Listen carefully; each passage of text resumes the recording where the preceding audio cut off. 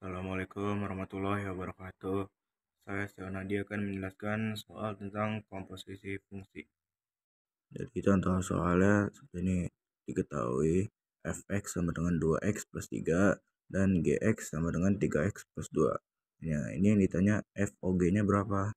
Nah, jawaban ini kunci dari FOG itu F dalam kurung G buka kurung X tutup kurung X seperti ini. Nah, kalau udah tinggal masukin aja. Ini F buka kurung masukin dari angka G ini 3X plus 2 tutup kurung.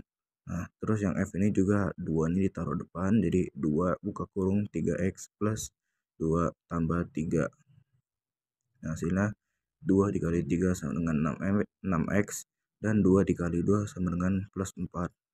Terus 3 nya taruh. Hasilnya itu 6X plus 4 tambah 3 itu 7 hasilnya 6x plus 7 sekian penjelasannya. Wassalamualaikum warahmatullahi wabarakatuh